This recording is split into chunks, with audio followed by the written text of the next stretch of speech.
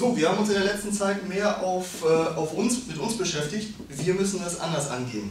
Im Endeffekt verlieren wir einen aus dem Blickwinkel. Wir müssen zusehen, dass wir ihn wieder für uns gewinnen.